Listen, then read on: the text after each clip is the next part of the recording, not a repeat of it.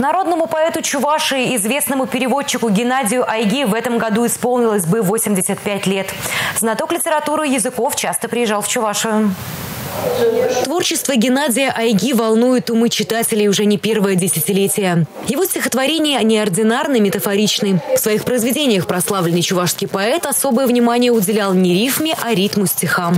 Он свободный, а свободой управлять очень трудно, говорил Геннадий Николаевич. Он и сам был удивительно свободным по духу человеком. В честь этой юбилейной даты Национальная библиотека проводит акцию «Мир читает Айги». В ее рамках отберут лучшие авторские видео чтением стихотворений поэта поэта. Национальная библиотека готова помочь снять видео в своих стенах на свое оборудование. Лучшие видеосюжеты соберут в отдельный фильм. Он пополнит фонды библиотеки.